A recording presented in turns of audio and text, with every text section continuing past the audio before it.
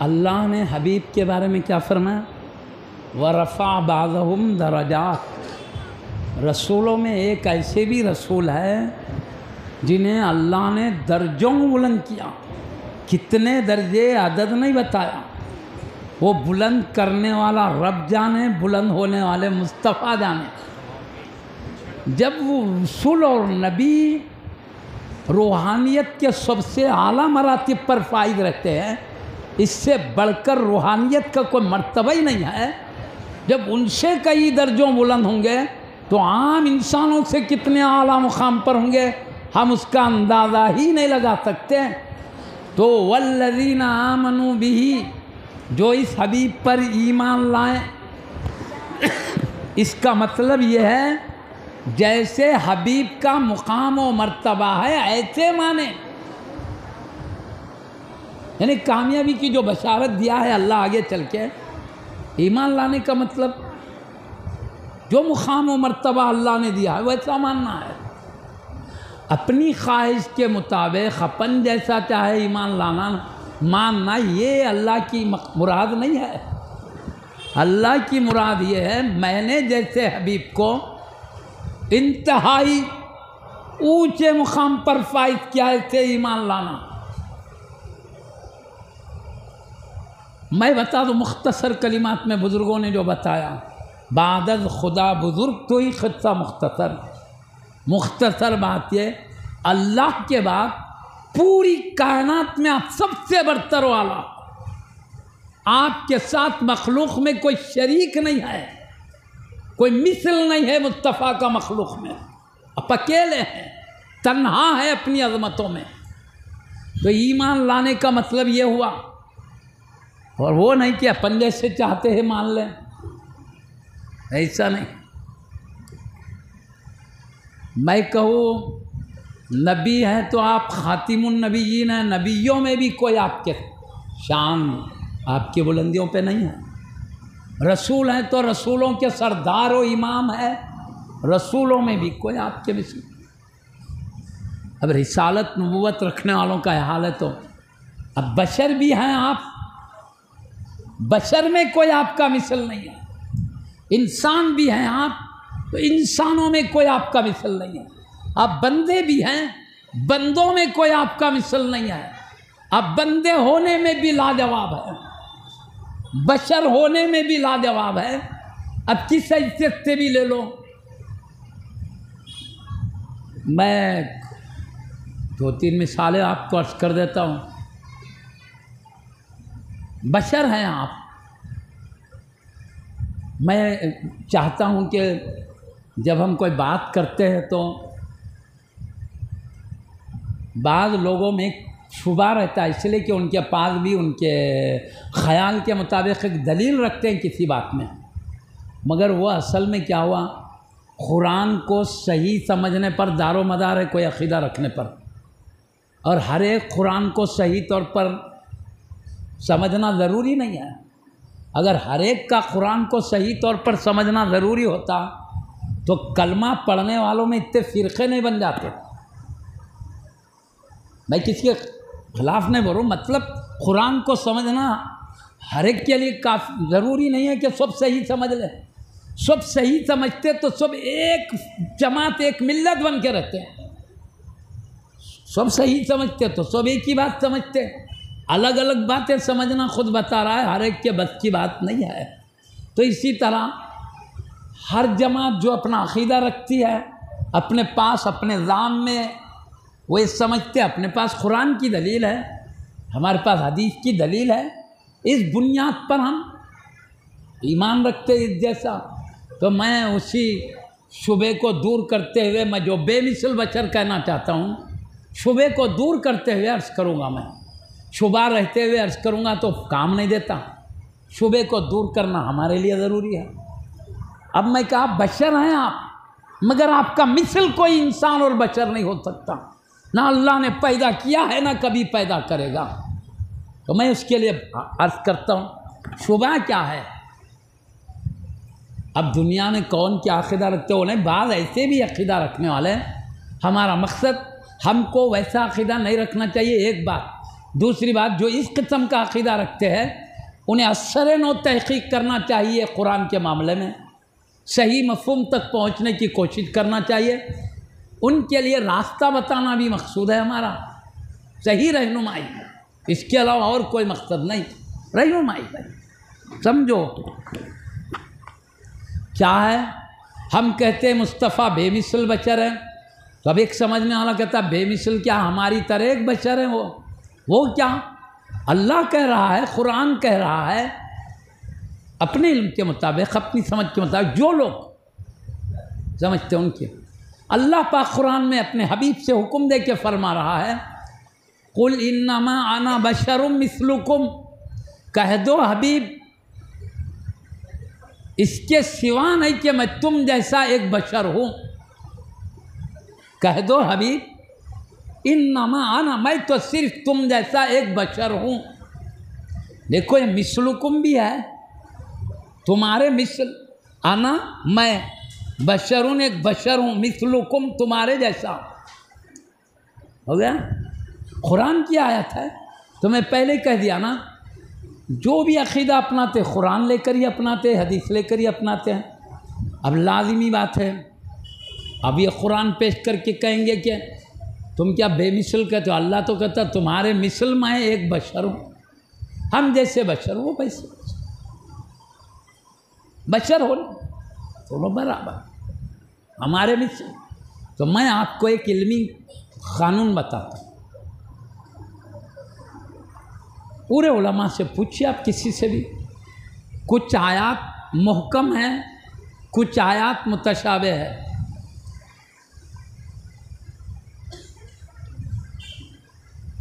वल्लजी अंजल अलैकल किताब मिन हो आया तुम महकमा तुम हम हन्ना उम्मुल किताब। व उखर मुतशाबिहात। अल्लाह ने हबीब पर कुरान उतारा। मिन हो आयात महकमात। उनमें कुछ महकम आयात है। महकम आयात मराद उसकी मुराद वाज साफ़ है। वह उखर मुतशाबिहात। और बाकी दूसरे जो महकम से हटकर मुतशाबी आयात है। और महकम आयत के हुन्ना उम्मुल किताब का ये असल है किताब की अहकाम पर अमल करने के लिए मोहकम। जिन आयात की मुराद वाज है, जिसमें कोई गौर फ़िक्र तावीलात करने की गुंजाइश नहीं है, बाज मुतशाब मुतशाब आयत के बारे में फरमाते हैं कि उसका इल्म अल्लाह ने अपने लिए ख़ास, अपने हबीब के साथ ख़ास किया, खुद अल्लाह अपने लिए रखा है, अपने हबीब के साथ ख़ास कर दिया है उसको।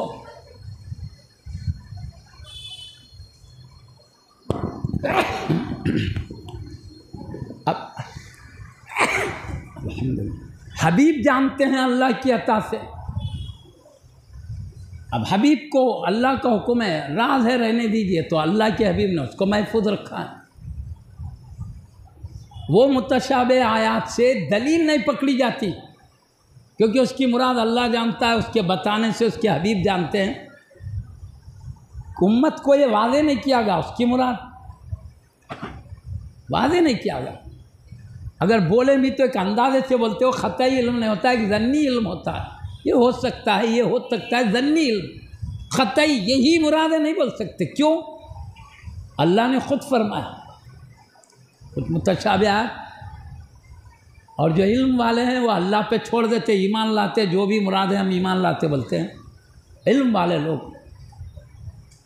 तो अब मुआज़ सामने किराम, ये खुल इन्नामा आना बशरुम मिसलुकुम में। कह दो हबीब, मैं तुम जैसा एक बशर हूँ।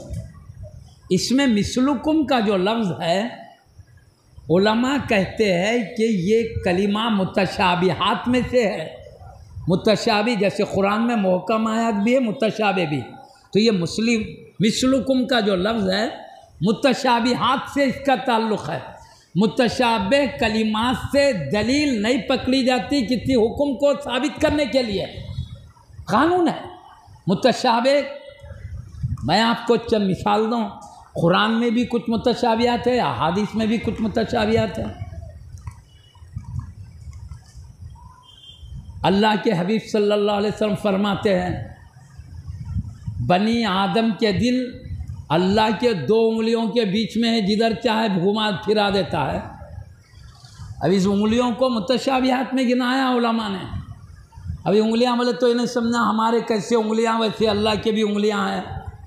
हमारे उंगलियाँ जैसे गोश्त और हड्डी से बने हुए हैं, उन रगों में रगा भी है, इसमें खून भी दौड़ रहा है। अल्लाह के भी ऐसे उंगलियाँ होंगे, ऐसा नहीं है। बल्कि हमको हुक्म है मुतशाबिहात से इसका ताल्लुक़। ये बात सच है, नबी ने जो फरमाया, हक है। मगर नबी की क्या मुराद है, हम नहीं जानते। नबी जो भी मुराद लिए मुराद पर ईमान है। मगर हमको मुराद नहीं मालूम है। ईमान लाना है उस पर। यकीनन अल्लाह के नबी का दो उंगलियों के बीच में बनी आदम के दिल है, जिधर चाहे घुमा देता है। नबी पाक सल्लल्लाहु अलैहि वसल्लम का इर्शाद हक है। मान लेना। मगर ये उंगलियों से क्या मुराद है?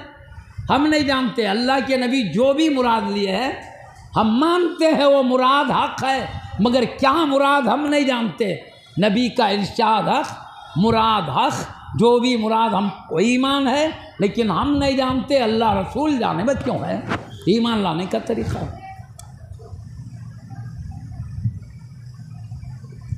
अब एक बात बोलूँ। नमा तुवल फसम वजहुल्ला, कुरान कहता है, तुम जिधर भी रुख करो, उधर वजहुल्ला, अल्लाह का चेहरा है। वजह चेहरे को कहते हैं, भाई हमारी तरह चेहरा है क्या अल्लाह का? हमारे जैसे दो आँख है, अल्लाह के भी ऐसे दो, हमारी तरह दो आँख है। अल्लाह का कोई जिस्म है क्या हमारी तरह? हमारी तरह कोई नाक है? हमारी तरह कोई सर है? हमारी तरह कोई हाथे है? हमारी तरह कोई पैर है? नहीं है। चेहरा साबित हुआ तो बदन साबित होगा, पेट पीड़ भी साबित होगी, हाथ पैर भी। हम अल्लाह को नूर मानते, जाके जिस्म मानना पड़ेगा।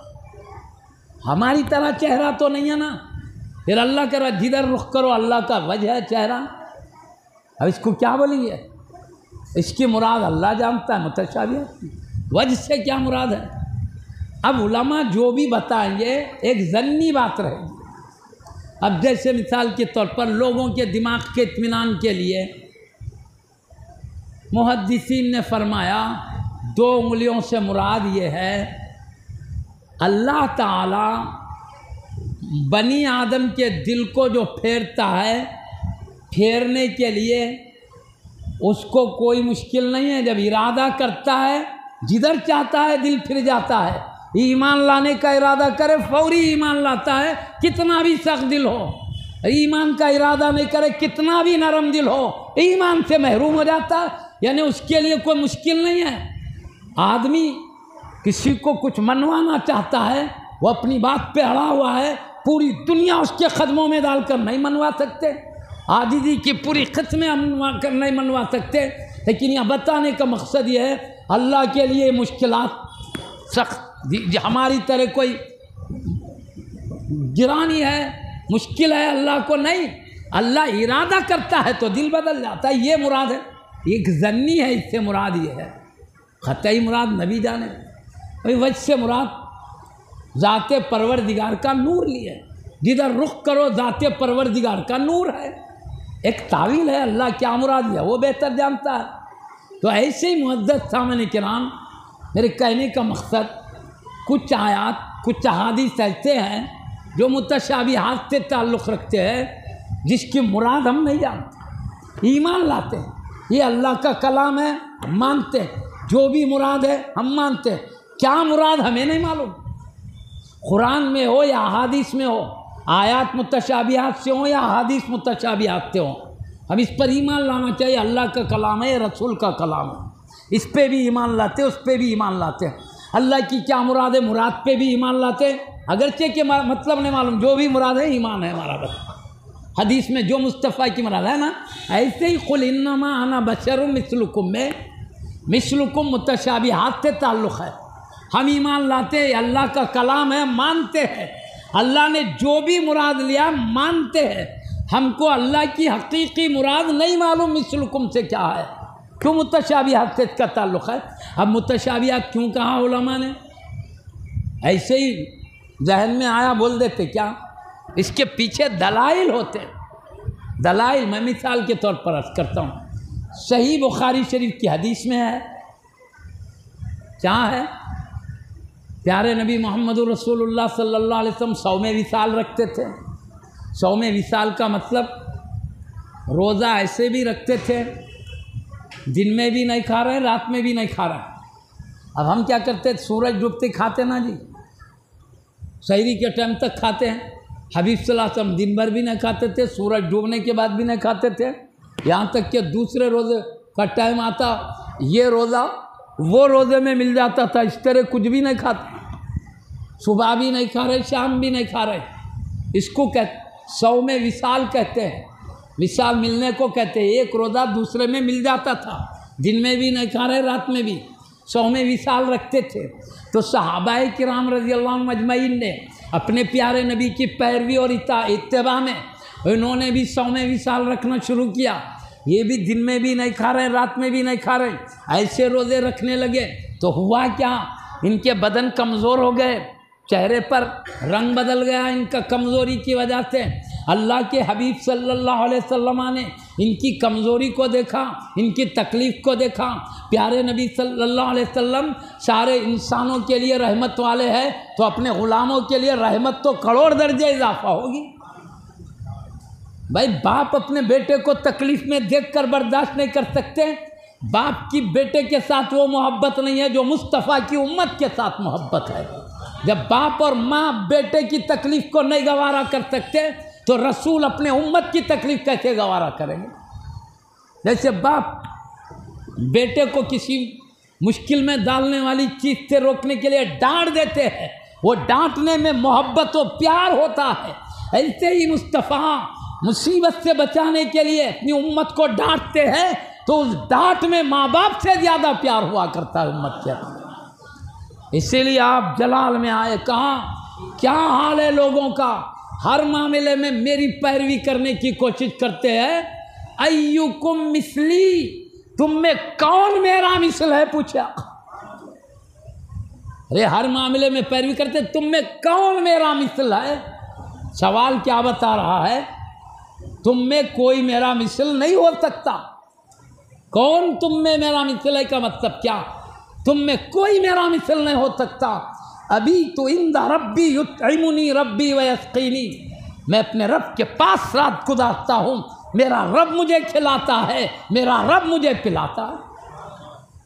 मैं अल्लाह के जलवों में ज़िंदगी गुजारता हूँ। मेरा रब मुझे खिलाता है। मेरा रब मुझे पिलाता है। बोले तो उससे पहले क्या बोले? मेरी शान अलग है, तुम्हारा मामला अलग है। कौन तुम में मेरा मिसल है? सही बुखारी शरीफ की हदीत है। बोलो ज़यीफ़ कमज़ोर का मसला ही नहीं है। तहकीक करने की भी ज़रूरत नहीं। इमाम बुखारी ने पूरी तहकीक के बाद बयान कर दिया। कहा, मैं सिवाय सही आदित के कुछ बयान ही नहीं करूँगा, बोल दियो। और करा शराय भी इतने कड़े रखे हैं, सख्त तरीन शराय कोई दूसरे मुहदसिन इतने सख्त शराय नहीं रखे हैं। हदीस नकल लेने में।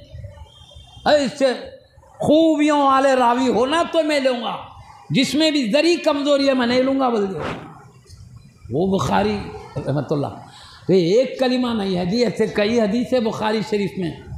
एक इर्शाद तो है युकुम मिसली, तुम में मेरा मिसल कौन है? सवाल बता रहा, कोई तुम में मेरा मिसल नहीं हो सकता। हो गया?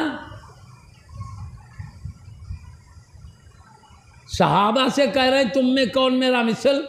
तब सहाबा के बाद और कौन हो सकते हैं मुस्तफ़ा के मिसल? मैं आपको बताऊँ, हज़रत सईदी इब्न हजर हैतमी मक्की रहमतुल्लाह अलैह अपनी किताब में नकल फरमाते हैं,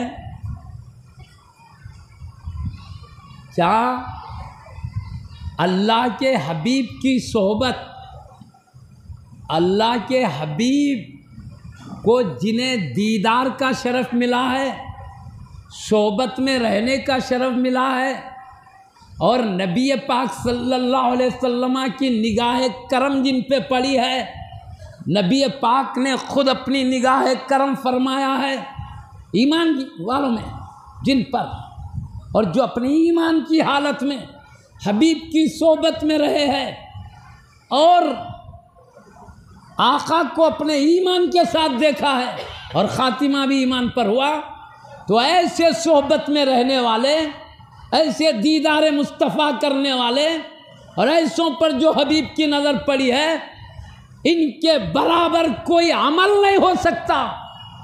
ये तमाम मुकामात में आला है उम्मत में बोले। उस सोहबत में रहना, हबीब को देखने का शरफ पाना और हबीब की निगाह करम इन पर पढ़ना और हबीब के पीछे ईमान की हालत में नमाज़ पढ़ने का शरफ, इसी ईमान के साथ खातिमा भी है। कोई अमल इसके बराबर नहीं हो सकता, कोई मुकाम मरतबा इसके बराबर नहीं हो सकता। ये इर्शाद बता रहा है, सहाबा का मुकाम उम्मत में सबसे ऊँचा है उम्मत में। अम्बिया के बाद तो प्यारे नबी सल्लल्लाहु अलैहि वसल्लम उम्मत में जो सबसे बड़ा मुकाम रखते हैं उनसे फरमाते हैं, तुम में मेरा मिसल कौन है? यानी, तुम में कोई मेरा मिसल नहीं हो सकता। तो जो उम्मत में सबसे आला मुकाम रखते हैं, वो मुस्तफ़ा के मिसल नहीं हो सकते। इनके बाद कौन मुस्तफ़ा के बराबर होगा, बताओ? ये आला दर्जे के बशर उम्मत में जो आला है, वो भी मुस्तफ़ा के मिसल नहीं हो सकते। एक नहीं, कई कलाम है मैं बुखारी लिख के बता दूँ। एक हदीस में इसी ताल्लुक से लिखे हैं, कलिमात अलग अलग है। लस्तु मिसलकुम, अपने हिदायत के चमकते सितारों से खिताब करते हुए फरमाया, प्यारे नबी सल्लल्लाहु अलैहि वसल्लम ने, लस्तु मिसलकुम, मैं तुम्हारे मिसल नहीं हूँ वह सवाल है, कौन तुम में मेरा मिसल है? यहाँ लस्तु मिसलकुम, मैं तुम्हारी तरह नहीं हूँ, मैं बेमिसल हूँ, ये मतलब हुआ। और एक है हदीस शरीफ, लस्तु का है अतिकुम मैं तुम्हारी जैसा नहीं हूँ। एक बुखारी शरीफ में ऐसे कलिमात है जिसमें हबीब अपनी बेमिसलियत को बयान कर रहे हैं। अब मैंने पहले ही कह दिया, नबी जो फरमाते रब की वही होती है, नबी की ख्वाहिश नहीं, हबीब ने ये जो फरमाया, ये भी रब की वही से फरमाया है। तो अब कुरान कहता, कुल इन्नमा आना बशर मिसलुकुम। कह दो हबीब मैं तुम्हारी तरह एक बशर हूँ। और हबीब कहते, मेरी तरह कोई भी बशर नहीं हो सकता। तुम में कोई मेरा मिसल नहीं हो सकता। कौन है बताओ मैं, तुम में मेरा मिसल? तुम में कोई मेरा जैसा नहीं हो सकता। तो मालूम हुआ, कुरान की सही मुराद को जितना मुस्तफ़ा जान सकते हैं सल्लल्लाहु अलैहि वसल्लम, कोई नहीं जान सकते। जब हबीब कुरान के सबसे बेहतर जानने वाले खुद अल्लाह ने अपनी मुराद मुस्तफ़ा को समझाया है, वो कहते हैं, तुम में कोई मेरा मिसल नहीं। इसी वजह से मुफस्तरीन, बुजुर्गान दीन मुहदसिन ने कहा, कुरान में जो मिसलुकुम का कलिमा है, वो मुतशाबिहात में से है। उससे दलील नहीं पकड़ सकते, क्योंकि हबीब कह रहे मेरा मिसल कोई नहीं है। सवाल कर रहे हैं, बताओ तुम में कौन मेरी जाता है इससे अंदाज़ा हम कर लेंगे। हबीब का जब मिसल नहीं है तो आयत मिसल की मुतशाबियात थे। और मुतशाबियात के बारे में उलमा का कानून है, इससे अहकाम साबित नहीं होते, इसको दलील में नहीं लाया जा सकता।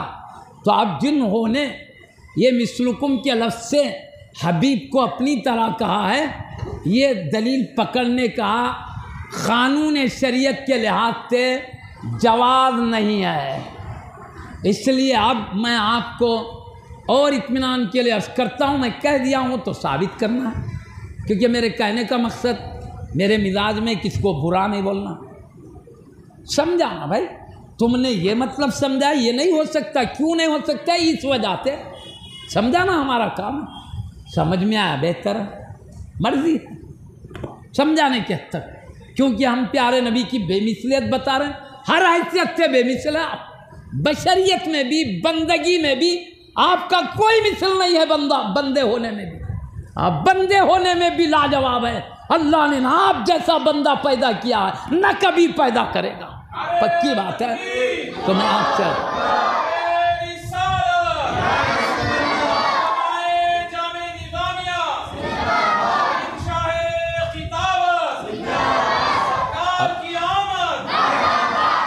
अब मैं बतौर नमूना आपकी बशरियत की बेमिसलियत को बताता हूँ। उससे पहले मैं एक बात अर्ज़ कर देता हूँ ताकि और भी कुरान को चूँकि इल्मी बातों में जाने का हर एक का मिजाज नहीं होता, वो इल्मी गहराइयों में जाके समझने का, एक तरफ़ हमें कुरान मानना भी ज़रूरी है, दूसरी तरफ़ हदीस मुस्तफ़ा मानना भी ज़रूरी है। कुरान कहता, मिसलुकुम बोलो, मुस्तफ़ा कहते, मेरा मिसल तुम में कोई नहीं। दो भी मानना ज़रूरी है। तो आप आवाम की तसल्ली के लिए, सुकून के लिए बिला किसी इल्मी गहराई में गए बगैर आसानी से बात समझ लें, उसके लिए मैं एक आलिम जलील अल्लाह ने हमको बेसहारा नहीं छोड़ा है। बड़े बड़े अजीम मरतबत अलिया अल्लाह को पैदा किया है, जिन्होंने हर मुसीबत से इल्मी, जहाँ हम भटक सकते थे, हमारे पैर फिसल सकते थे बचाने के लिए ज़बरदस्त उलमा हर दौर में आए हैं। एक दौर है सौ साल पहले का, जहाँ पर दकन की सरजमीन के लिए अल्लाह ने एक वली कामिल को ख्वाब में इशारा करके भेजा, मदीने से इशारा करके भेजा। क्या? वली कामिल है, आशिक रसूल है, आरिफ बिल्ला है, जिनको शेखुल इस्लाम के लखब से याद किया गया। बड़े बड़े हज़रत सईदी इमाम अनवारुल्ला शाह फारूकी, बानिय जामिया रहमत रिजवान की दाते बाबरकत है। प्यारे नबी, आप गए थे खंदार शरीफ के रहने वाले, नांदेड़ के करीब खंदार शरीफ है। महाराष्ट्र का इलाका पहले दक्कन का एक हिस्सा था वो। आप गए थे हज करने मदीन में गए, कई सफ़र हुआ, एक बार क्या है कि आप वहीं रह जाएँगे, हबीब के पास। आशिक रसूल है। चाहते थे कि मैं हबीब का दरबार छोड़ के कहीं नहीं जाऊँगा। ख़ानदान छोड़ दिया, घराना छोड़ दिया, मोहब्बत में रह गए। तो प्यारे नबी मोहम्मद रसुल्लम ने ख्वाब में इशारा किया अनवारुल्ला दक्कन जाकर इल्म दीन, हिदायत वहाँ से पहुँचाओ, उम्मत को सही रहनुमाई करो, हुक्म दे के पहुँच भी जाए। तो मैं मतलब क्या समझ रहा हूँ, मालूम? आप रह जाना चाहते थे खदमों में। हबीब कह रहे, नहीं जाओ, दक्कन जाके तुम हिदायत की तालीम दो, कौम को सही रास्ता बताओ। तो इसका मतलब ये है अनवारुल्ला शाह तुमको सिर्फ़ मेरे कदमों में रहने नहीं पैदा किया गया, करोड़ों उम्मतियों को मेरे कदमों तक पहुँचाने के लिए भी पैदा किया गया है। जाओ, हिदायत करो उनको, सही रास्ते पर लाओ, ये मतलब है। आपका मुकाम बहुत ऊँचा है, खुरब इलाही में तो रहते हैं, लाखों करोड़ों को आपके डायरेक्ट या तवसुत से आपके फैज याफ्ता आपकी पाकिदा किताबें आज भी रहनुमाई कर रहे हैं। आपसे फैज पाने वाले उलमा उनसे फैज पाने वालों के अंदर ये सिलसिला जारी है। आपने सईदी हजूर बानी जामिया कबला ने प्यारे नबी की बशरियत की अनोखी शान बयान करते हुए इर्शाद फरमाते हैं, कैसे बेमिसल बशर हैं? हम बशर है, हमें एक एहतियाज है, ज़रूरत है। माँ के पेट में हैं तो अभी ज़िंदगी गुजारने के लिए ज़रूरत। है बदन की तरबियत के लिए ज़रूरत है गज़ा की। बदन बनने के लिए, बढ़ने के लिए पेट में, जब तक के उसमें रूह नहीं डाली गई, ज़रूरत है। तो वो अल्लाह ने वो ज़रूरत भी पूरा किया है। अल्लाह पैदा करके भी हमारे मीशत का, हमारे खाने पीने का इंतज़ाम करता है। पेट में रख के भी हमारे खाने पीने का इंतज़ाम किया। मतलब हमारी ज़िंदगी उतारने के क्या कानून है? मैं आपको बताता हूँ। अल्लाह के हबीब सल्लल्लाहु अलैहि वसल्लम की विलादत हुई, नाल कटे हुए पैदा हुए। नाल बोले तो पेट में जिसको बम्बी कहते हैं, उसमें एक रस्सी की तरह चमड़ा होता है पैदा होने के वक्त। पैदा होने के बाद उसे काट दिया जाता है। अब जायद ज़रूरत से बढ़ के, समझ के काट दिया जाता है। लेकिन भाई, जब काटना ही था, अल्लाह पैदा ही क्यों करा उसको? सवाल है, पैदा ही क्यों करा? तो उसकी एक हिकमत है, बंदे की माँ के पेट में परवरिश के लिए पैदा किया गया। क्यों? वो जो नाल होती है पेट में, माँ का खून उस नाल के ज़रिए बच्चे के बदन को तरबियत करता है। यानी उस खून की ताकत से बच्चा बढ़ते जाता है। परवरिश होती है अंदर, जिसम की। जब तक रूह नहीं डाली गई, वो खून से बंदे का जिसम बढ़ते जाता है माँ के पेट में। जैसे भाई, कोई बीमार पड़ गया, मुँह से खा नहीं सकता। ग्लूकोज के ज़रिए खून की ज़रूरत है तो खून पहुँचा के बदन में क़वत नहीं देते हैं। जब मुँह से नहीं खा सकता तो ये बदन में। आज हमारे दुनिया में भी डॉक्टरी मौजूद है, बता रही है, किस तरह से बंदे के जिसम को ताज़ा, तरोताज़ा रखा जाता है क़वत पहुँचाई जाती मालूम ना? ऐसे ही अल्लाह ताला माँ के पेट में बच्चे की तरबियत के लिए, बदन की नशुनुमा के लिए, ये नाल को ज़रिया बनाया, वो नाल के तवसुत से माँ का खून बच्चे के बदन को क़वत पहुँचाता खून पहुँचते रहता है। इंजेक्शन के ज़रिए जैसा पहुँचता है। जब बच्चा पैदा हो जाता है, अब उसको अल्लाह मुँह से खाने की सलाहियत दिया, दूध पीने की, नाल की अब ज़रूरत नहीं है। इसलिए नाल काट दिया जाता है, बच्चा माँ का दूध पीता है।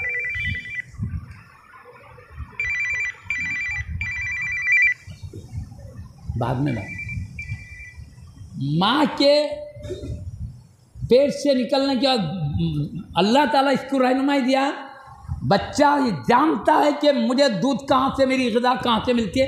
ऑटोमेटिक माँ के पास जाता है, सीने से दूध पी के तरबियत पाते वो नाल की ज़रूरत नहीं, इसलिए काट दिया।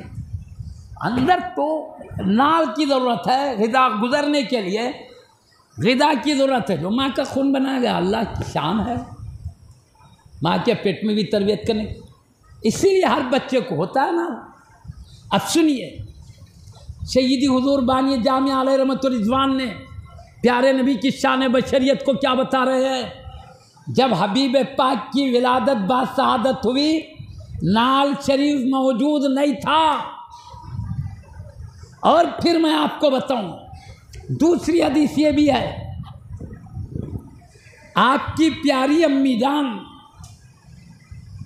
हज़रत सईदा आमीना बिनते वहाब रज़ी अल्लाह तहा आप फरमाती है कि जब तक मेरा प्यारा बच्चा मेरे पेट में था तो और औरतों के पेट में बच्चे होते हैं तो उस वक्त माँ को तकलीफ़ होती है, मुश्किलात बर्दाश्त करती है सर में दर्द कभी और तकलीफ़ों में रहती है, वज़न संभालती है, मुसीबतें झेलती है, लेकिन मेरा प्यारा बच्चा जब तक मेरे पेट में था, मैं कभी तकलीफ़ महसूस नहीं की, गिरानी महसूस नहीं की, कभी भी वो महसूस नहीं हुआ कि पेट में भी मेरे बच्चा है। इतनी राहत के साथ मेरा बच्चा पेट में रहा है, सिवाय इसके कि मेरा बच्चा पेट में है तो कभी भी मेरा खून जारी नहीं हुआ। खून जारी नहीं हुआ। जैसे और औरतों को जारी रहता है, नहीं हुआ। अब पता क्या चला? ना खून गुजरने का रास्ता है, हबीब बेनाल के पैदा हुए। ना अम्मी जान का खून जारी हुआ है।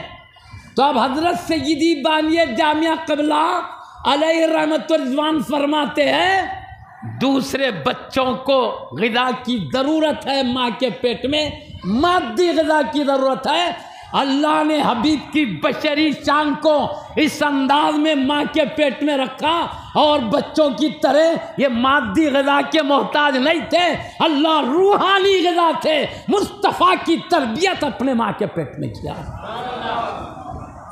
मैंने कह दिया, यहाँ सौ में विशाल है, वहाँ भी खाने की आदत नहीं है। साहबा ने सुबह शाम नहीं खाया कमज़ोर पड़ गए, चेहरों के रंग बदल गए, लेकिन हबीब पाक ने नहीं खाया, नहीं पिया, न चेहरे का रंग बदल रहा है, न कमज़ोर हो रहे। ये शान बशरियत है, हबीब पाक की। इसलिए हम कहते हैं, प्यारे मुस्तफ़ा, बशर होने में भी कोई उनका मिसल नहीं है।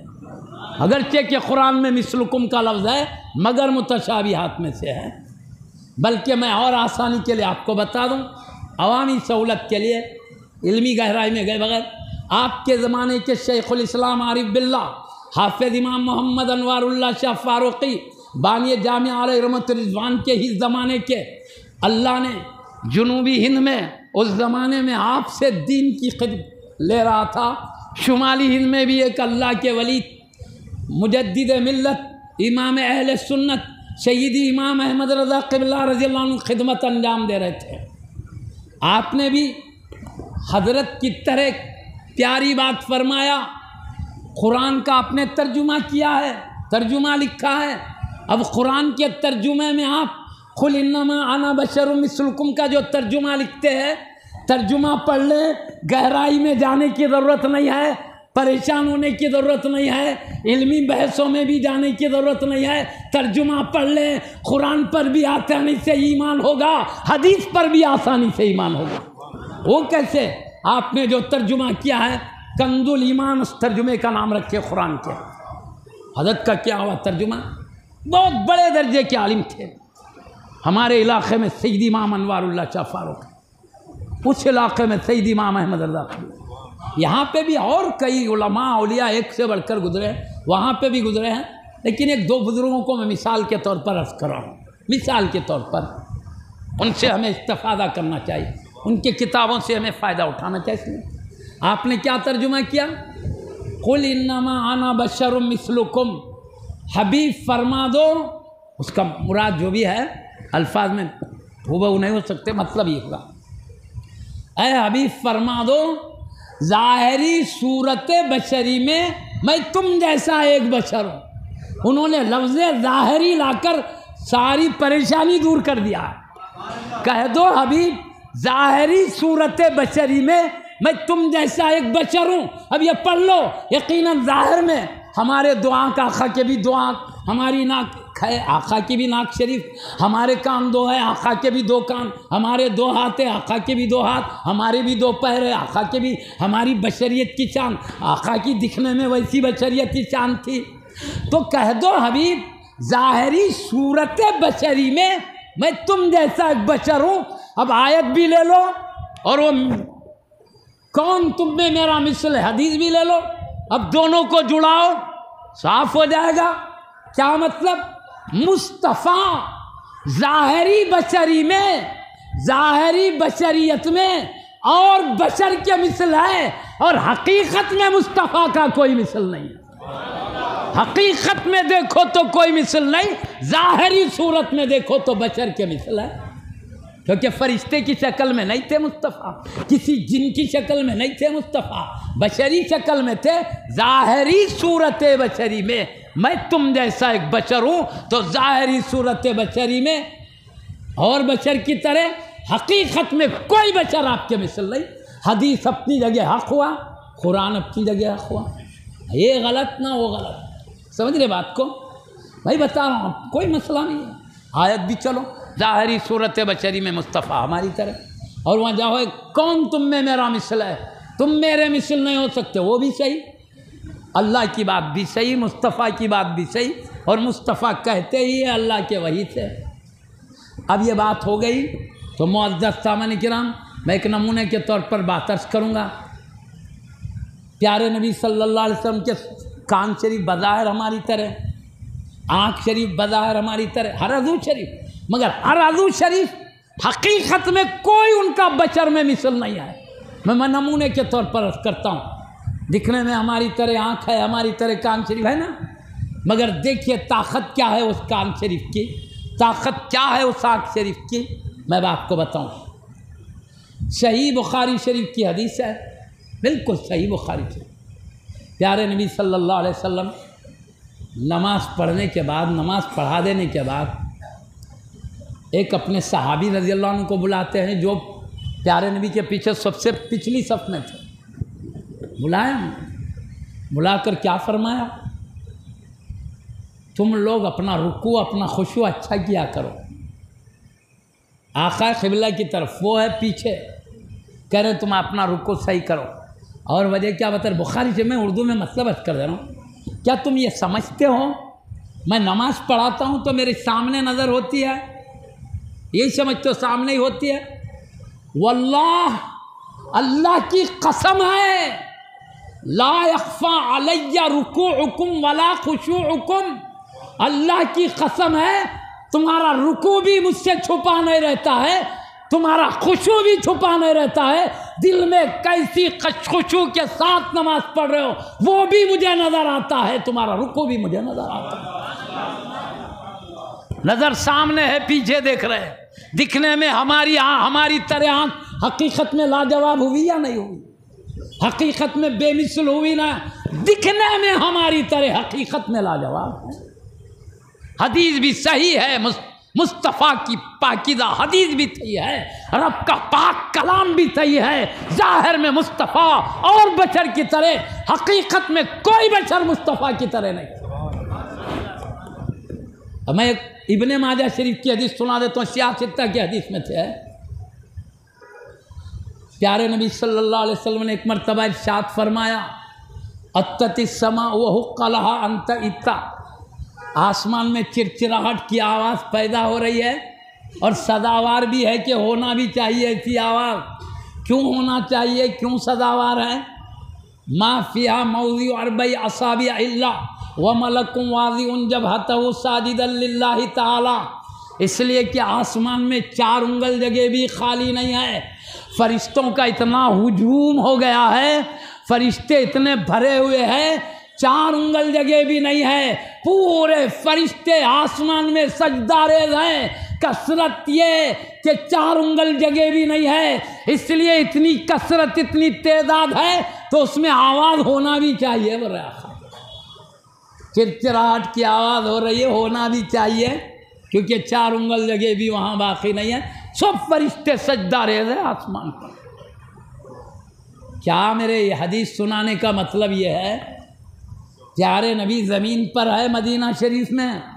साहबा रज़ी अल्लाह अजमैन से फरमाते हैं, आसमान चिरचिरा रहा है, ज़मीन पर रहकर आसमान की आवाज़ मुतफ़ा सुन रहे हैं। कान दिखने में हमारी तरह हकीकत में लाजवाब है। वो बताना चाहता हूँ मैं। यही नहीं, शबे में राज आसमान पर गया खा वापस तशरीफ़ लाए। सुबह मेराज को भी सुना, एक वक्त में सईदुना बिलाल रज़ी अल्लाह से फरमाया है बिलाल, ये प्यारे नबी के प्यारे लाल अजमत व शान वाले मुद्दीन है। ऐ बिलाल तुम वो क्या ख़ास काम करते हो बताओ। जो और नहीं करते, मगर तुम करते हो। इन्होंने अर्ज़ किया यार रसूल अल्लाह वसल्लम, मैं कुछ ख़ास काम नहीं करता, जो सब करते हैं वो मैं करता हूँ। नहीं, कुछ ख़ास काम है, बताओ। तो कहा, एक बात है, मैं जब भी बेवजू होता हूँ तो वज़ू कर लिया करता हूँ। आमतौर पर सब नहीं करते, वज़ू का ज़रूरत पड़ी तो करते हैं, बात करते हैं। मैं बेवजू हुआ तो फौरी वज़ू कर लिया करता हूँ। और जब भी मस्जिद में दाखिल होता हूँ तहयतुल मस्जिद के दो रकात पढ़ लेता हूँ। तो प्यारे नबी सल्लल्लाहु अलैहि वसल्लम क्या फरमाए? मैं जन्नत में दाखिल हुआ, शब मेराज की बात कर रहे हैं। मैं जन्नत में दाखिल हुआ, मेरे आगे आगे तुम्हारे पैरों के चलने की आहट सुन रहा था। है बिलाल, इसी वजह से तुमको अल्लाह ने ये मुकाम दिया है। कि तुम जब भी वज़ू, बेवजू हो वज़ू कर लिया करते हो और जब भी मस्जिद में वज़ू करके आते हो, दो रकात नमाज़ पढ़ लेते हो बीमा इन्हीं दो अमाल की वजह से अल्लाह ने तुम्हें यह शरफ दिया है, मैं जन्नत में दाखिल हुआ हूँ तो तुम्हारे कदमों की आवाज़ सुन रहा हूँ। अब मैं ये हदीस क्यों सुनाया? इसलिए ज़मीन में है तो कहते हैं, आसमान की आवाज़ सुन रहा हूँ। और जन्नत सातों आसमान पार, जन्नत के अंदर पहुँच गए हैं तो फरमाते हैं, मैं तुम्हारे कदमों की आवाज़ सुन रहा हूँ, ज़मीन पर चलने की आवाज़ जन्नत के अंदर मुस्तफ़ा सुन रहे हैं। ये कान है, दिखने में हमारी तरह हकीकत में लाजवाब। है ना? बुखारी शरीफ की हदीस से आप सूरज गहन आया आपके जमान में, ज़माने में? कई बार हुआ, चाँद गहन सूरज गहन एक हदीस सुना रहा हूँ मैं इसमें की। सूरज गहन हो गया तो सूरज गहन की नमाज़ आखा ने पढ़ा ताकि अल्लाह ताला जल्द से जल्द उसको गहन से निकाले, कोई आफत आने ना दे हम पर। उम्मत की मोहब्बत में आपने नमाज़ पढ़ाए सूरज गहन की। पढ़ाते पढ़ाते एकदम एक कदम आगे बढ़ाया खिबला की तरफ़। एक कदम आगे बढ़ाए और हाथ भी आगे बढ़ाया ऊपर को।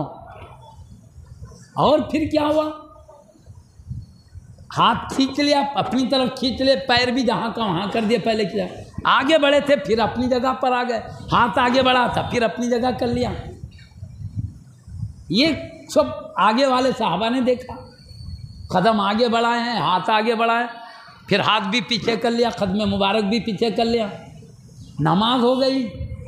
नमाज़ होने के बाद प्यारे नबी सल्लल्लाहु अलैहि वसल्लम फरमाते हैं, आज की तरह हौलनाक मंजर मैंने कभी नहीं देखा। नमाज़ पढ़ाते पढ़ाते मुझे दोजख नज़र आ रही थी। नमाज़ पढ़ा रहा हूँ, मुझे जन्नत नज़र आने लगी। उधर दोजख भी नज़र आ रही है तो इधर जन्नत भी नज़र आ रही है। तो जैसे ही मुझे जन्नत नज़र आई, मैंने एक कदम आगे बढ़ा और हाथ को जन्नत के मेवे तक पहुँचा दिया ताकि तोड़ के तुम्हारे लिए दे दूँ। जन्नत के मेवे तक हाथ पहुँचा दिया। अगर मैं वो तोड़ लेके तुमको दे देता, क़यामत तक भी खाते रहते तो उसकी बरकत ख़त्म नहीं होती। क्यों? जन्नती मेवा कभी ख़त्म नहीं होता। लेकिन मैं तोड़ लेता, तुमको दे देता क़यामत तक भी वो ख़त्म नहीं होता, खाते ही रहते क़यामत तक। मगर मैंने अपना इरादा बदल दिया।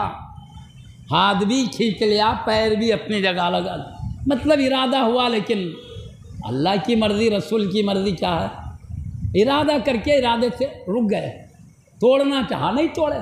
कहते मैं तोड़ देता तो तुम लोग क़यामत तक खाते रहते। ये बुखारी में हदीस है और इससे बढ़कर कुछ हिस्सा गालिबा शिफा शरीफ में हज़रत इमाम खाजी इयाज रज़ी ने भी लिखा है हदीस को। ज़रा उसमें और ज़्यादा कलिमात है। मैं दोनों के मिलाकर हंस कर देता हूँ। बुखारी शरीफ के भी और जो जायद कलिमात है वो भी। अब बुखारी शरीफ का तो इतना हुआ ना। अब उसमें आगे क्या है? नहीं नहीं, ये दूसरी हदीस है मेरे दिमाग में दूसरी हदीस है। ये नहीं ला रहा हूँ, इसमें इतना ही है बस। इतना ही है। खादी याद रखें कि मैं जो दूसरा हदीस सुनाना चाहता था, वो अलग है। इससे उसका कनेक्शन ताल्लुक़ नहीं। उसको इन अल्लाह चाहे तो बयान करेंगे नहीं तो रहने दीजिए। इसमें इतना है। अब ये हबीब सल्लल्लाहु अलैहि वसल्लम ने क्या फरमाया? अगर मैं तोड़ लेता तो तुम क़यामत तक खाते रहते। हैं उसमें बरकत ख़त्म नहीं होती, जन्नती मेवा। लेकिन मैंने इरादा बदल दिया, पीछे हट गया, हाथ भी खिंच लिया बुखारी शरीफ की हदीस है आगे वो दूसरी हदीस से मैं जो बोल रहा था आपसे। नहीं बयान करना अभी। अब मैं यहाँ से बताना चाहता हूँ, हबीब सल्लल्लाहु अलैहि वसल्लम ने जो हाथ जन्नत की डाली तक पहुँचाया था, जन्नत की शाख तक पहुँचाया था, जो मेवों से लदी हुई थी, ये बात बताओ, आपका दस्ते मुबारक जन्नत तक पहुँच रहा था या जन्नत की डाली आपके हाथ तक पहुँच रही थी? दोनों में क्या था? दोनों में एक होगा ना? या जन्नत की डाली यहाँ आ गई होगी मस्जिद नबवी में? या प्यारे नबी का दस्ते मुबारक जन्नत तक जा रहा होगा? है ना? वहाँ तक जा रहा होगा। दो में एक है। ये मानो या वो मानो? यूँ मानो डाली मुस्तफ़ा के पास आ गई। तो शान मुस्तफ़ा समझ में आया, सातों पार रहने वाली जन्नत की डगाली, डाली शाख। हबीब, निगाह फरमा दे तो सातों आसमान पार करके मुस्तफ़ा की बारगाह में पहुँच सकती है। जब डाली की ये शान है, अगर मुस्तफ़ा हाथ जन्नत तक पहुँचा दे, हाथ जन्नत तक पहुँचे तो ताजुब की क्या बात है? इसलिए हम कहते हैं अब यूँ मानो खुद हबीब का हाथ जन्नत की डगाली तक जा सकता था तो दिखने में मुस्तफ़ा का हाथ आम बशर की तरह है मगर आम बशर का हाथ जन्नत तक नहीं पहुँच सकता। ये मुस्तफ़ा का हाथ हकीकत में लाजवाब है यहाँ से उठाएँ जन्नत की डाली तक मुस्तफ़ा का हाथ पहुँचा।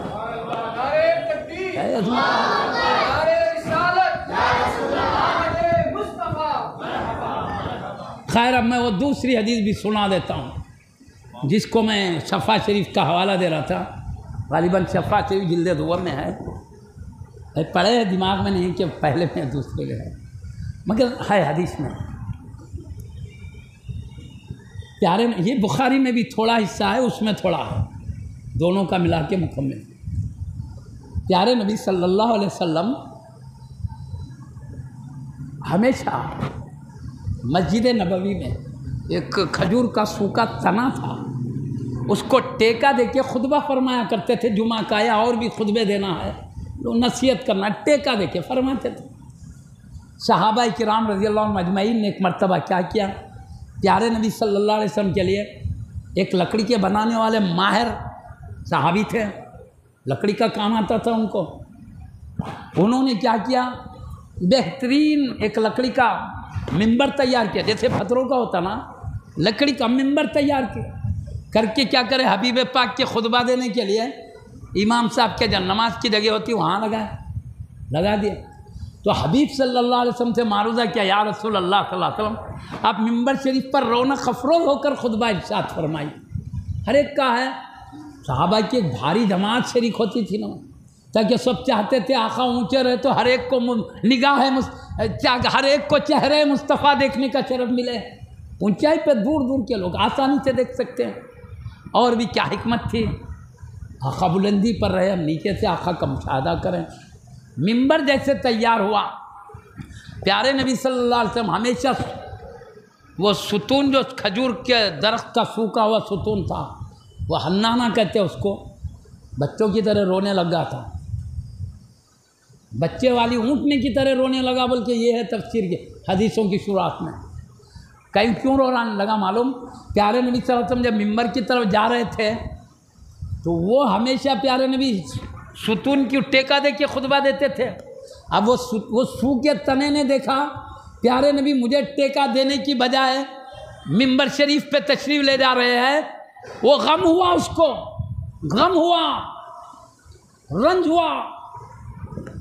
इतना गम इतना गम उसमें से रोने की आवाज़ आना शुरू हुई। कह, में सूखे हुए खजूर के तने में रोने की आवाज़ आ रही है। कब मिंबर शरीफ पे हबीब जा रहे तो?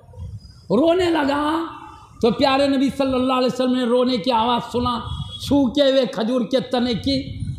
तो मिंबर से उतर कर वो तने की तरफ़ चले गए। एक हदीस में अपने हाथ मुबारक उसको फेरा। और एक हदीस में अपने सीने मुबारक से लगा लिया उसको। जो रो रहा था तो रोने का अंदाज भी हदीस में लिखा हुआ है। इतनी दर्द भरी आवाज़ में रोया, हत्ता इर्तजल मस्जिद, यहाँ तक कि पूरी मस्जिद दहल गई। अरे इंतहाई गमजदा रोना था, हर मस्जिद में रहने वालों के दिल पर उसका असर हुआ। हद यह है कि उसके रोने को देखकर सहाबा भी रोने लग गए। पूरी मस्जिद दहल गई। उस तने के गम से रोने की गम क्या? प्यारे हबीब, मुझे टेका दे के खुतबा देते थे, आज टेके से महरूम हो गया हूँ। जिसमें अनवर मुझे मस्त होता था, महरूम हो गया हूँ। मिंबर पे जा रहे तो ये गम से रो रहा है। प्यारे नबी सल्लल्लाहु अलैहि वसल्लम ने जब बदन शरीफ से लगाया तो अब रोना बंद हुआ? कैसा बंद हुआ? उसकी हालत भी लिखा है उसमें मुहदसिन ने। ऐसा रोना बंद किया जब कोई बच्चा किसी चीज़ की तलब में रोता है, उसके बाद उसको समझा दिया जाता है तो बच्चे का रोना बंद तो होता है, मगर हिचकियाँ ले ले कर रोना बंद करता है तो बच्चे के रोना बंद होने की तरह हिचकियाँ लेते लेते रोना बंद हुआ।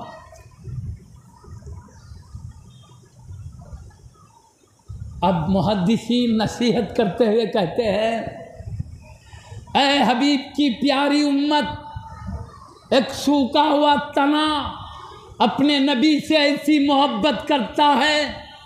हमेशा जो जिसमें अनवर मस्त होता था, आज उससे महरूमी देखा तो इस तरह रोने लगा कि पूरी मस्जिद दहल गई।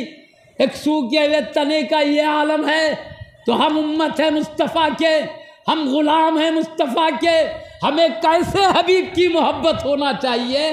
दर्द दिए कम से कम उसकी तरह तो मोहब्बत करना सीखे। सूखे हुए तने की तरह। इसमें दर्ज भी है। खैर, आगे का मैं अर्ज़ कर रहा हूँ। आगे क्या हुआ? प्यारे नबी मोहम्मद रसूलुल्लाह सल्लल्लाहु अलैहि वसल्लम ने फरमाया, मैं अब दो हदीसों का मजमु सुना रहा हूँ। आगे की हदीस शफा शरीफ से सुना प्यारे नबी ने फरमाया खजूर के तने से खिताब करते हुए बोल,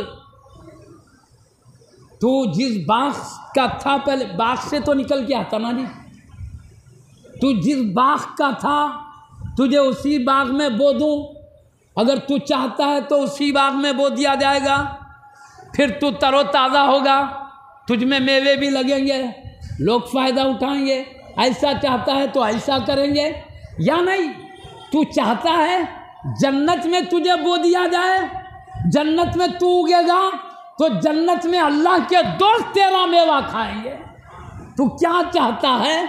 तो उसने अर्ज़ किया, या रसूल अल्लाह सल्लल्लाहु अलैहि वसल्लम, मुझे जन्नत के अंदर बो दीजिए, ताकि अल्लाह के दोस्त कितने जन्नत में सब दोस्त बन के रहिए, ताकि अल्लाह के दोस्त मेरा मेवा खा सकें।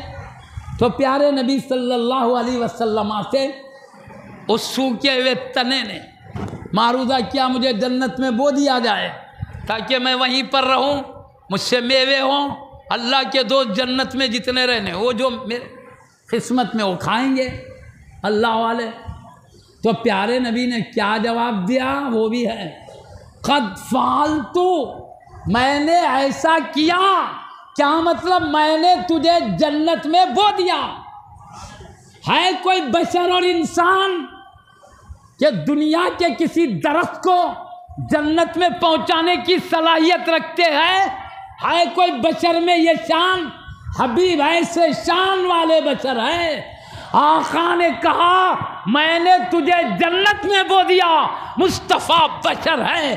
दिखने में हमारी तरह, हकीकत में चाँद ये है। हाथ यहाँ से उठाएँ तो जन्नत तक पहुँच जाए। इसलिए कुरान जो कह रही, वो भी हक है। कह दो, हबीब, ज़ाहरी सूरत बशरी में मैं तुम जैसा एक बशर हूँ। हदीस भी जो कह रही, हक है। अल्लाह के हबीब कहते तुम में कौन मेरा मिसल है? तुम मेरे मिसल नहीं हो सकते मतलब हकीकत के एतबार से कोई मेरी तरह नहीं। ज़ाहरी एतबार से मैं तुम्हारी तरह बचर। बशरी हकीकत में कोई मेरी तरह हकीकत वाला बशर नहीं है। मेरी बशरी हकीकत और शान वाली, जिसमें कोई शरीक नहीं हो सकता। ये मतलब हुआ तो मुआज़ सामन किराम, मैं अर्ज़ कर रहा था, अल्लाह पाक फरमा रहा है वल्लदीना आमन भी जो नबी पर ईमान लाएँ। तो मैं ईमान लाने का मतलब बता रहा था। ईमान लाने का मतलब अपन जैसा चाहे वैसा ईमान लाना नहीं है। अल्लाह जैसी मुस्तफ़ा को शान दिया है, वैसा ईमान लाना कैसे? आपको बंदे भी मानना है, बशर भी मानना है, नबी भी मानना है, रसूल भी मानना है, ये भी ज़रूरी है तो इसके साथ ये भी ज़रूरी है, बशर माने तो ऐसा कि अल्लाह ने जैसा बशर पैदा किया है ना करेगा। बंदे हैं तो ऐसे, इन जैसे अजमत शान वाला बंदा ना अल्लाह ने किसी को पैदा किया है ना करेगा। अब नबी हैं तो ऐसे, इन जैसे नबियों में भी कोई मिसल नहीं, नबियों में भी आप आला मरतबा वाले नबी रसूलों में भी आला मुकाम वाले रसूल हैं, जिनको मैंने आयत से पहले कह दिया। वरफ़ा दराजात, उनमें एक रसूल वो भी है, जो रसूलों में कई दर्जे बुलंद किए गए, वो ज़ात मुस्तफ़ा है। तो अब मैं मुख्तसर सी शराह के साथ ये आयत करीमा सुना रहा था, समझाते जाऊँ जो इस हबीब पर ईमान लाए पहले कह दिया जैसी शान था अपनी तरह बशर नहीं। वो तो हर नबी को उनके ज़माने के काफिर भी कहते थे। क्या कहते थे? कुरान में अल्लाह ने ज़िक्र किया। वो कहते थे, काफिरों के सरदार काफिरों से कहते थे हर नबी के क्या? ये क्या है? हमारी तरह एक बशर है। हम जैसे खाते हैं, ये भी वैसे खाते हैं। हम जैसे पीते हैं, ये भी वैसे पीते हैं। हम जैसे बाज़ारों में चलते फिरते, ये भी वैसे चलते फिरते बस ये नबूत का दावा कर रहे हैं, फजीलत हासिल करने के लिए। इस किस्म की बातें हर नबी से उनकी कौम के मुनकरीन भी कहते हैं। वो तो मान रहे फिर मानने की क्या बात है? तो मानने का मतलब ये अपनी तरह बशर मानना नहीं है, बेमिसल बशर मानना। अपनी तरह बंदा नहीं, लाजवाब बंदा मानना। अब वो बंदे की शान बताने जाएँगे तो वह टाइम लगेगा। मतलब शाकफा अंदाज में आगे बढ़ जाना चाहता हूँ। बहरहाल, हर पहलू में मुस्तफ़ा का कोई मिसल नहीं है। अब कहीं भी गए तो टाइम लग जाता भाई, इसलिए मैं नहीं जाना चाहता। जल्दी जल्दी बात समझ लो। मुस्तफ़ा हर हैसियत से लाजवाब है। किसी भी अवसाफ कमालात में आपका कोई मिसल नहीं इतनी बात है। वल्लदीन आमनु बिही वाजरू और आपकी इज़्ज़त करें। व नसरू और आपकी मदद करें। देखो, एक ईमान लाना है, ईमान लाने के बाद इज़्ज़त करना है, मदद करना है। तो इज़्ज़त कैसी? इज़्ज़त में भी वही शान होना। हर एक की इज़्ज़त हमारे लिए ज़रूरी है। हमको तो शरीयत कहती माँ बाप की भी इज़्ज़त करो। हमें कहती है, उस्ताद की भी इज़्ज़त करो। हमें कहती है, शरीयत पीर की भी इज़्ज़त करो, रहनुमा हादी जो भी है, उनकी भी इज़्ज़त करो। हमें कहती है, बड़ों का की भी इज़्ज़त करो। बल्कि प्यारे नबी फरमाते हैं मल्लम यू अक्र कबीराना फल ऐसा मिलना जो हमारे बड़ों का अदब नहीं करता वो हम में से नहीं है उम्र में भी बड़ा है अदब करो हमारी शरीयत तो अदब करने का तालीम ही देती है तालीम का हुक्म ही देती है वली है अदब करो खुतुब है अदब करो गौस है अदब करो मुहदस है अदब करो मुफत्तिर है अदब करो फ़की है अदब करो नबी के सहाबी है अदब करो नबी के अहल पैत है अदब तालीम करो नबी के खुलफा राशिदीन है अदब तालीम करो हम नबी है, अदब करो, रसूल है, अदब करो, मलाइका है, अदब करो। अदब की तो तालीम है। नबियों के सुल्तान उनका भी अदब करना है। तो अदब तो अल्लाह ताला हबीब ने अदब की कसरत से तालीम दिए हैं। अब हबीब की भी अल्लाह कहता अजरू नबी की तालीम करें तो तालीम तो हर एक की करना ही है। मगर हबीब का क्योंकि अल्लाह के बंदों में कोई मिसल नहीं। तो ताजीम भी ऐसी जो सारे ताजीमों में आला ताजीम हो। अदब में सबसे बढ़कर अदब हो। कायनात में मुस्तफ़ा के अदब का कोई मिसल ना हो। सब का अदब अपने अपने मरातिब के दायरे में रहकर अदब है। मुस्तफ़ा का अदब उनकी शान के लिहाज से कायनात में अल्लाह की मखलूक और अल्लाह के बंदों में आप जैसा कोई नहीं, आपका अदब भी बेमिसलो इस अदब जैसा कोई अदब बेमिसलो अदब। अजरू का मतलब भी ऐसा नहीं। हम माँ बाप की जैसे तालीम वैसे नबी की भी कर लेंगे। हम जैसे इस की करते हैं, वैसे नबी की कर लेंगे। हम अपने जैसे बुज़ुर्गों की करते हैं, वैसे ही कर लेंगे नहीं। हबीब का मुकाम बेमिसल है अदब भी बेमिसल होना अब मैं आपको बताऊँ कैसा अदब होता है हबीब का मिसाल के तौर पर, नमूने के तौर पर अर्ज़ कर देता हूँ। हबीब की शान के लिहाज से अदब चाहिए। अल्लाह ने ख़ास तौर पर कुरान में बता वतरू हो वतरू नबी की तज़ीम करो, नबी की तोक़ीर करो। कैसे की जाती? नमूना होना ना हमारे लिए। मैं आपको नमूने के तौर पर अर्ज़ करता हूँ। अदब कैसा होता है हबीब की शान में? ताज़ीम कैसी होती है प्यारे हबीब की शान में मैं बताता हूँ। सभी महबूबों का अदब है हमारे सभी लाडलों का अदब है।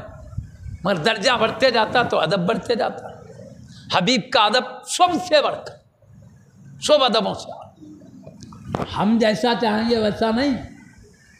मुखाम अल्लाह जैसा दिया है वैसा अदब।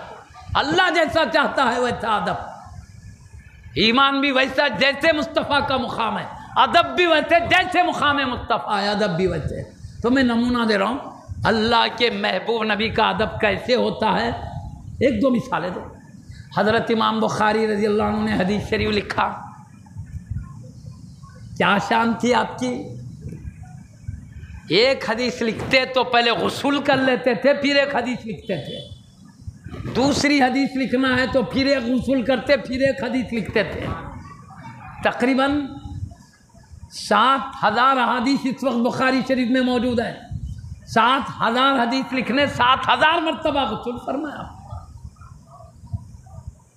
क्यों? ये नबी के ज़ुबान से निकले हुए कलिमात है। नबी के ज़ुबान मुबारक से निकले हुए कलिमात का ये अदब है। तो जाते मुस्तफ़ा का अदब क्या होगा? अंदाज़ा कीजिए। है प्यारे नबी के प्यारे कलिमात लिख रहे हैं।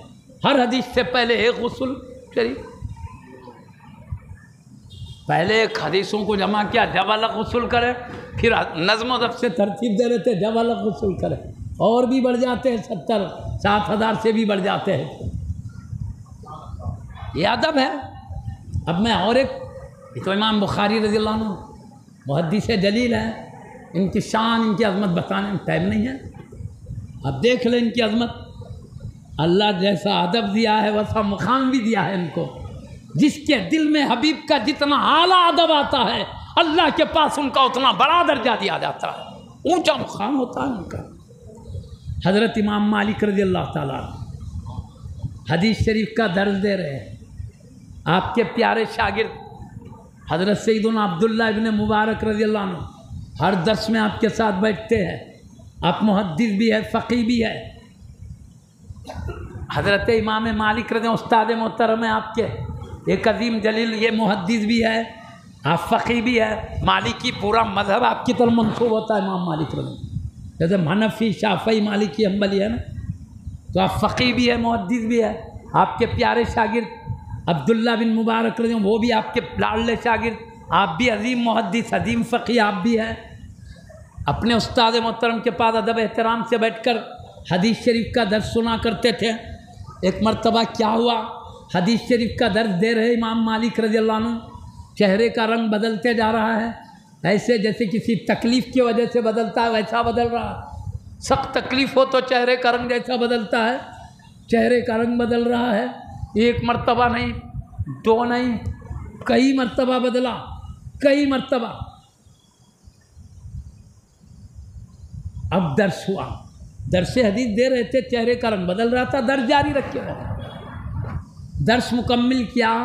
दर्श मुकम्मल होने के बाद अपनी पीठ के अंदर कपड़े में से हाथ डाले, पकड़ के निकाला तो एक बिच्छू निकला। उसको ज़मीन पे छोड़ा तो भाग रहा था वो। कहा, मोती, या अखरब मोती भी इजनिल्ला है बिच्छू, अल्लाह के हुक्म से तुम मर जा। इधर बोले, अल्लाह के हुक्म से मर जा वहीं मर गया। क्या मतलब? ये वजह यह है कि आपने प्यारे नबी के हदीस का दर्ज देते देते बिच्छू टंक मार रहा है, शदीद तकलीफ़ हो रही है, फिर भी दर्श नहीं छोड़ रहे हैं। क्यों? उनसे सवाल किया अब्दुल्ला इबन मुबारक रज़ी शागिर्द रशीद ने। यहाँ सईदी इतने चेहरे के रंग बदलते हुए मैंने देखा दर्श के दौरान कभी नहीं देखा था।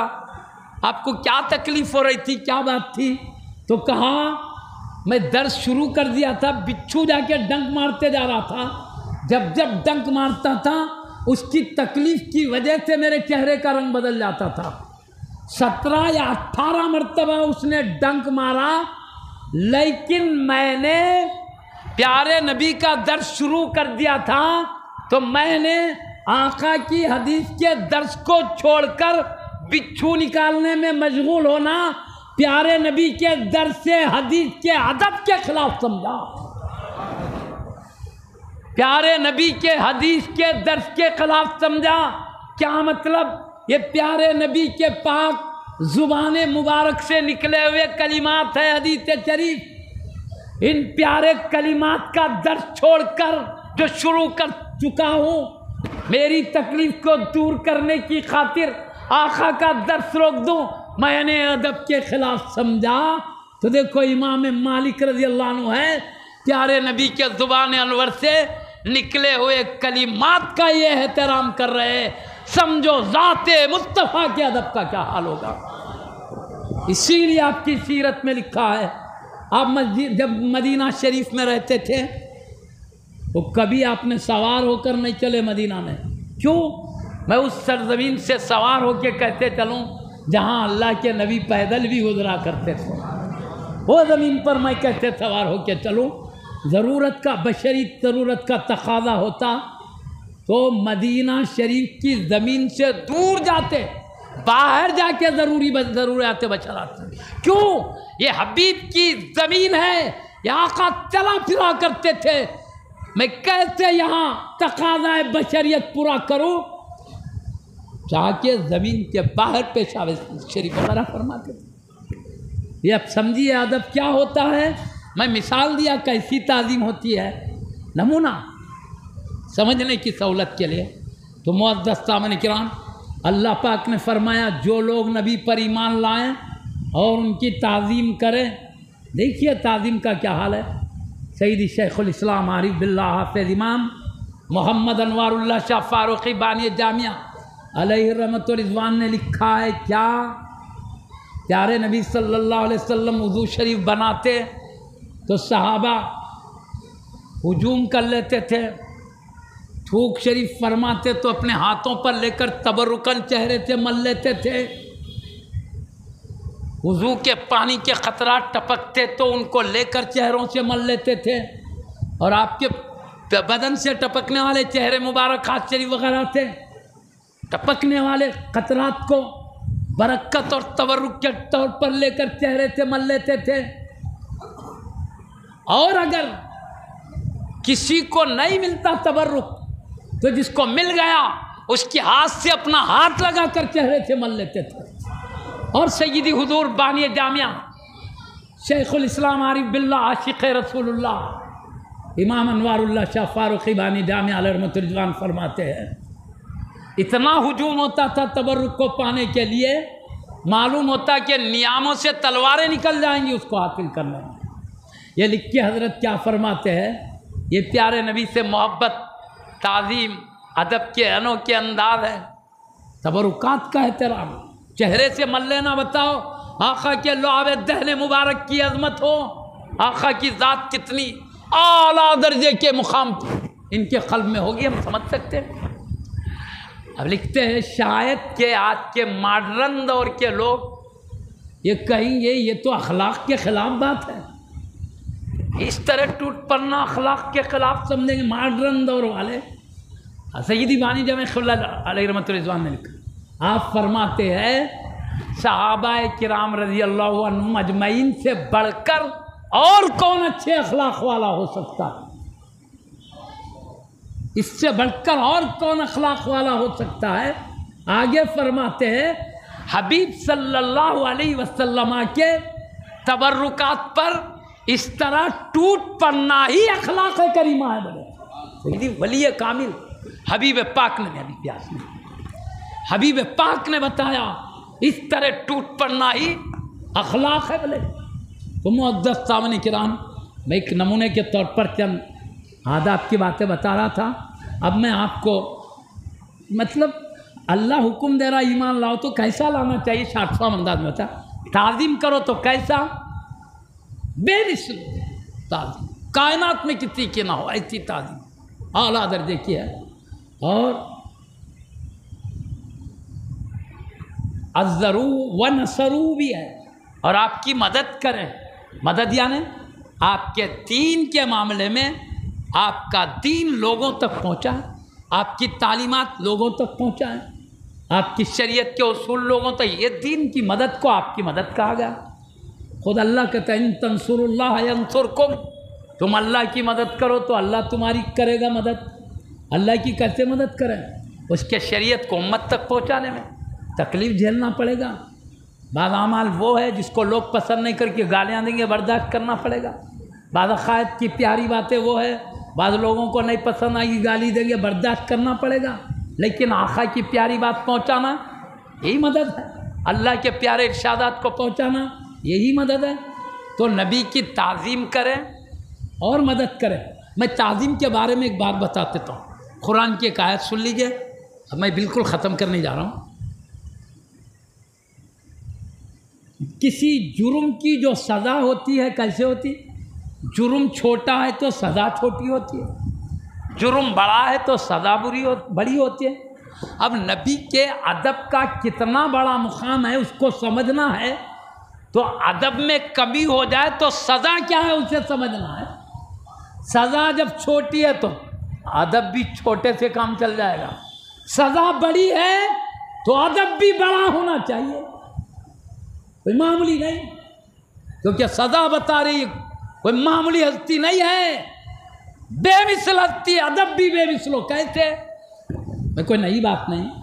कुरान चौदह सदियों से चला रहा है, वही है। सारे उलमा उलिया वही सुन, मैं वही सुना रहा हूँ। इसलिए याद दिला देना है बार बार ताकि याद रहे, जहन से निकले नहीं। हमारा ईमान खवी रहे। अल्लाह जैसे अब ईमान लाने जैसे ताज़ीम करने का हुक्म दिया वो बरकरार रहे। ताकि आगे चल के अल्लाह कामयाबी की खुशखबरी दे रहा। इसलिए जैसे अल्लाह चाहता है, वैसा चले। अल्लाह ने कुरान में फरमाया, या अल्लादीन आमन, ला तो बैन यदई व रसूली। अदब बता रहा है ईमान वालों अल्लाह और उसके रसूल के आगे मत बढ़ना। मैं तफसील तोज़ी तशरी तफसीर में नहीं जा रहा हूँ। खाली तर्जुमे से काम ले लेंगे। अल्लाह और रसूल के आगे नहीं बढ़ना। आदब है। वत्तकुल्ला अल्लाह से डरते रहो। नहीं तुम इधर आगे बढ़ोगे, मैं जलाल में आ जाऊँगा मतलब मेरा दरियाए जलाल मौजों में आ जाएगा। मेरे से डरते रहो, यहाँ आगे बढ़ना है तो। अरे, समझ लिया वत्तकुल्ला क्यों बोला अल्लाह ने? आगे मत बढ़ो, अल्लाह से डरते रहो। नबी के आगे बढ़ने के साथ अपने से डरने का बात। मतलब तुम पकड़े जाओगे, मेरी गिरफ्त में आ जाओगे, ज़रा भी हबीब के मामले में लफ्जिश हो जाएगी तो। ये हुआ। यादीन आमनुल्ला तरफ़ वसवा तकुम फ़ौतिन नबी। है ईमान वालो नबी की आवाज़ पर अपनी आवाज़ बुलंद मत करो। वला तजहरुलहू बिलकौली कजहरीबादी कुम लिबास जैसे और एक दूसरे के सामने ज़ोर से बोलते हो, मेरे हबीब के सामने ज़ोर से मत बोलो। अब देखो, अदब बताया, आगे नहीं बढ़ना नबी के। अदब बताया, नबी की बारगाह में ज़ोर से बात नहीं करना। अदब बता जैसे एक दूसरे के सामने बात करते हो, ये हबीब के पास नहीं चलेगा। बात ऐसी करो, सुनने वाला देखकर समझ ले आखा के बात आला दर्जे की है, तुम्हारी धीमी है देखने वाला समझ ले, वो आखा है, कलाम कर रहे हैं। ये गुलाम है, मारूदे कर रहा है। ताकि आखा और गुलाम का फ़र्क ज़ाहिर हो। अब क्या होगा? आवाज़ भी अगर बुलंद होगी तो क्या होगा? यहाँ दीगर बेअदबियों की बात नहीं चल रही है। आखा की अजमत को घटाने की बात नहीं चल रही है। उनकी अजमतों से खेल की बात नहीं चल रही है। यहाँ सिर्फ़ आवाज़ बुलंद हो तो क्या होगा वो बर अल्लाह कहता है, अगर ऐसा हो, मेरे हबीब की बारगाह में आवाज़ बुलंद हो जाए एक दूसरे के सामने जैसे बात करते हो ज़ोर ज़ोर से, मेरे नबी के सामने ऐसा हो जाए तो क्या होगा? अंतहबता आमालुकुम वान तुम ला तशोरून। कहीं तुम्हारे अमाल बर्बाद ना हो जाए और तुम्हें पता भी चलने ना पाए। क्या मतलब? तुम जितने अमल किए हो, नमाज़ हो या रोज़ा हो, जक़ात हो या हज हो, कोई भी बेहतरीन अमाल हो, कितने भी अच्छे तुम्हारे काम हो, लेकिन सुनो, आवाज़ भी बुलंद हो तो कहीं तुम्हारे सारे अमाल अकारत ना हो जाए। क्या मतलब? मैंने दिया भी है, सारा कुरान, सारा अमल मेरे नबी के हाथों से दिया है, उनके सीने से दिया है। तुमने एक कायनात जो लिया गुंबद खदरा से होकर मिला है। मेरे मुस्तफ़ा के दामने कर्म से होके मिला है, इनके पाक हाथों से मिला है। मैं इनके बगैर तुम्हें ना नमाज़ दिया, न रोज़ा दिया, न जक़ात दिया, न हज दिया, न अमाल सालहा, न अखलाक हमीदा, न ईमान, न मेरी ज़ात सिफात। जो दिया, मेरे मुस्तफ़ा से दिया दिया भी हूँ इनके हाथों से, कबूल भी करूँगा इनके अदब के साथ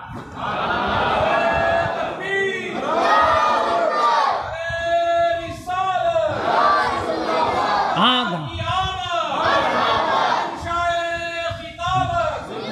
अदब भी ऐसा आवाज़ भी बुलंद होगी तो जितने अमल किए हैं सब बर्बाद ना हो जाए।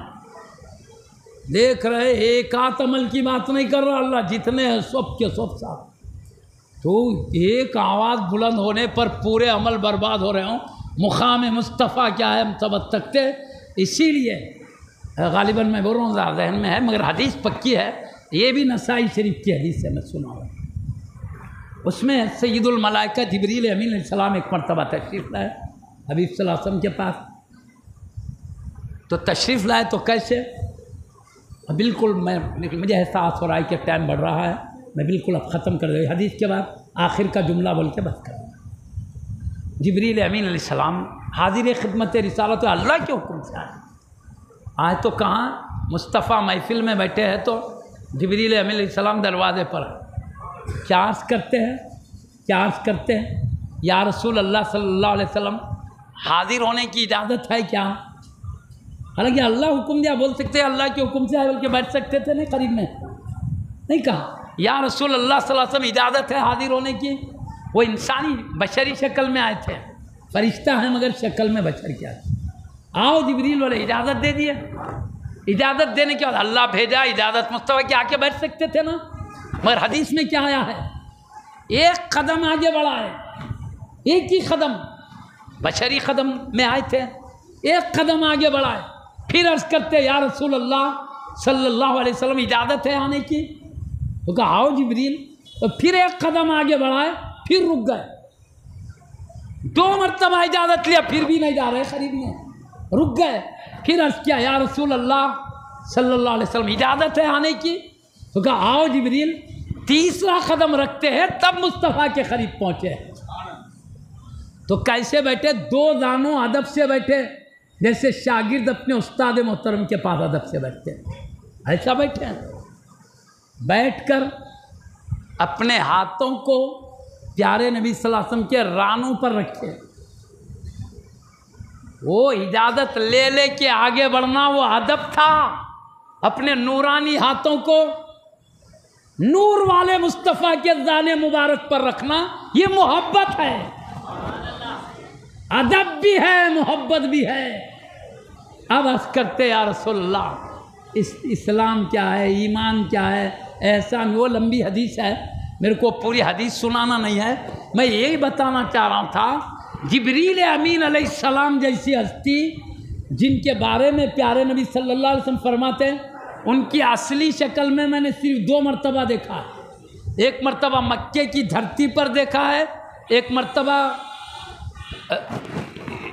दरख्त सिदरा के पास देखा है। जन्नत में सिदरा का जहाँ दरख्त है, वहाँ एक मरतबा देखा असली शक्ल में, जबरील अमीन सलाम को।